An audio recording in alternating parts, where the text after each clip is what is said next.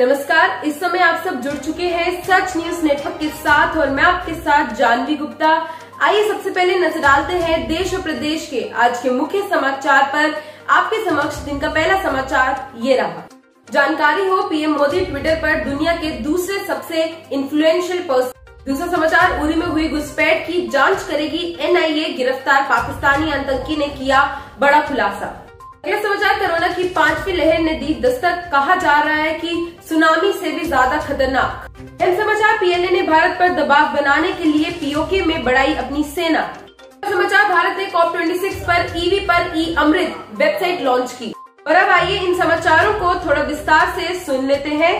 समाचार बताते चले consumer intelligence company brand watch ने साल 2021 के लिए ट्विटर पर 50 सबसे इन्फ्लुएंशियल पर्सन की सूची जारी कर दी और इसके अनुसार प्रधानमंत्री नरेंद्र मोदी ट्विटर पर दूसरे सबसे बड़े इन्फ्लुएंशियल पर्सन है। पाकिस्तानी टेररिस्ट ग्रुप एलओसी से जम्मू में घुसने की लगातार प्लानिंग बना रहे हैं। पिछले महीने उरी में भी आतंकियों की घुसपैठ की कोशिश की थी और सूत्रों से मिली जानकारी के मुताबिक अब इस मामले की जाँच एनआईए करेगी। वैक्सीनेशन होने के बावजूद कोरोना का खतरा अभी तक टला नहीं है। हाल ही में फ्रांस से कोरोना वायरस की पांचवी लहर की खबरें आ रही है। पांचवी लहर ने दस्तक दे दी है। अगला समाचार पीएलए ने भारत पर दबाव बनाने के लिए गुलाम कश्मीर में अपनी सैन्य गतिविधियाँ बढ़ा दी है और पाकिस्तान सेना को दे रहा है ट्रेनिंग।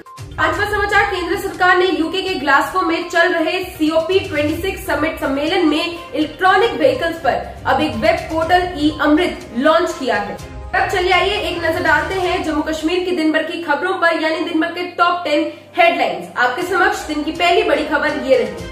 जम्मू कश्मीर के कुलगाम में सुरक्षा बलों ने दो आतंकियों को मार गिराया है। अन्य आतंकियों के मौजूद होने के बाद इलाके को घेर लिया गया। वीरवार को सुरक्षा बलों को इनपुट मिला था कि कुलगाम के चवलगाम में आतंकी जो है वो मौजूद है।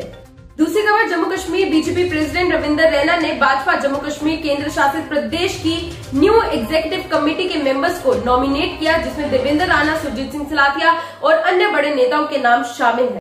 तीसरी खबर, जेडीए के नोटिस पर former deputy CM Nirmal Singh ने जारी किया एक वीडियो वीडियो में जेडीए के इलीगल कॉलोनीज फॉरेस्ट लैंड पर इलीगली कंस्ट्रक्टेड हाउसेज की तरफ़ किया इशारा जानकारी और श्रीनगर में बढ़ते टारगेट किलिंग को लेकर लाल चौक पर बढ़ाई गई सुरक्षा, शहर के चप्पे चप्पे पर की गई सुरक्षा बलों की तैनाती।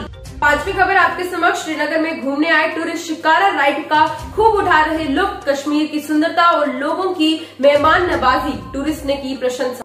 जानकारी देते सीबीआई ने श्रीनगर के पूर्व डिप्यूटी मेयर शेख इमरान के खिलाफ मामला किया दर्ज, जेके बैंक से एक करोड़ से अधिक हेराफेरी करने के आरोप लगाए गए।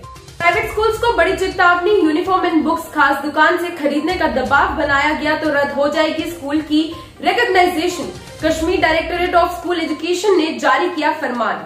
अपडेट जम्मू और कश्मीर में जम्मू संभाग से 36 और कश्मीर संभाग से 141 नए कोविड मामले पाए गए 96 रिकवरीज हुई और पिछले 24 घंटों में कोई मौत नहीं हुई।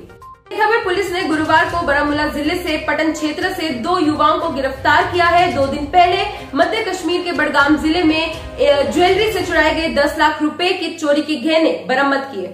आइए जान लेते हैं, जम्मू कश्मीर से दिन की आखिरी खबर। सरकार ने सभी जम्मू कश्मीर के डीसी से लापता रेवेन्यू रिकॉर्ड को लेकर एफआईआर दर्ज करवाने को कहा। इस संबंध में डिप्यूटी कमिश्नर रेवेन्यू डिपार्टमेंट को सौंपेंगे जानकारी।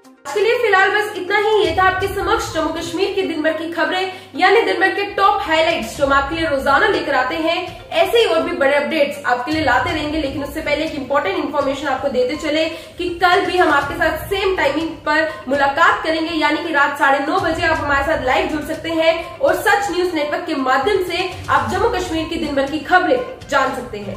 फ़िलहाल के लिए दीजिए इजाज़त, लेकिन इसके साथ साथ हमारे वीडियोस को ज़रूर आगे शेयर करें, ताकि आपके साथ साथ जम्मू कश्मीर के अन्य लोगों को भी जो रात की ये बुलेटिन हम लेकर आते हैं, इससे जम्मू कश्मीर की दिन भर की खबरें पता चल सके। दीजिए इजाज़त, देखते रहे सच न्यूज़ नेटवर्क। जय हिंद।